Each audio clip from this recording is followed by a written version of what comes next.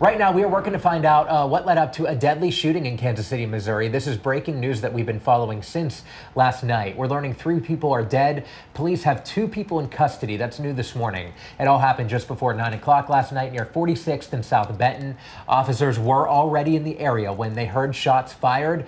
They say they saw two people in the street and tried to arrest them. One of them took off running, but was eventually caught. The other gave up right there on the spot. And